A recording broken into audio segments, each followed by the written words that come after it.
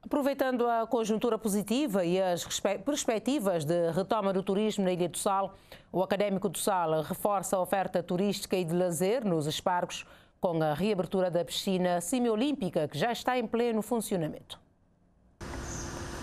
A piscina semiolímpica está novamente em funcionamento e trata-se de uma alternativa de lazer e prática desportiva para os dias quentes de verão no coração dos espargos, conforme anunciou o presidente da Associação Desportiva Académico do Sal, proprietária do investimento desportivo de utilidade turística. A piscina está funciona de, de, terça a domingo, portanto, segunda-feira, dia de folga de funcionários, eh, das 10 às, 9 da no... às 7 da noite.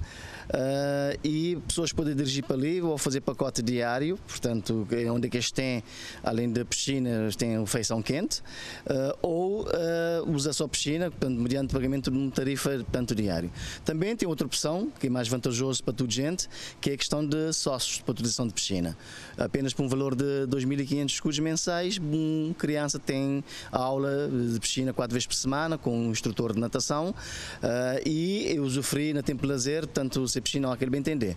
Para um adulto é volta de 3.000 ou 3.500 escudos, se não me falha a memória, uh, mensal e também ele tem as mesmas regalias. Durante o fim de semana não tem feito pacotes interessantes, com música ao vivo e com atividades ah, atrativas para crianças. No dia de criança não fazer uma atividade excelente ali, onde é que não vai na, naqueles hotéis não conseguir alguns materiais de brinquedos de piscina que não trazer. Foi um dia espetacular para a criança, eh, tudo que bem que arrepender. E porque apesar do abrandamento do número de casos na Ilha do Sal, o bloqueio da transmissão da Covid-19 continua a ser uma preocupação, a direção do Académico do Sal garante que está a seguir à risca todas as recomendações das autoridades sanitárias. Nós não temos sido muito rigoroso com o distanciamento.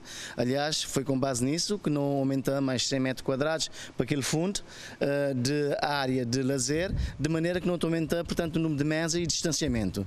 Uh, normalmente, uh, não tem, tem sido visitas por várias entidades, autoridades, IGAI, Proteção Civil, Polícia, e eles têm reparado que não têm cumprido na íntegra aquilo que nos plano de contingência está propor. Uh, e é claro que não querer rapidamente para não sair desse processo, porque não me sei rentabilizar essas coisas. Projeto é um projeto uh, de um clube de futebol que não tem nenhuma fonte de rendimento senão isso, e é muito mal se não continua com esse sistema ali sim de, de pandemia a nível do país.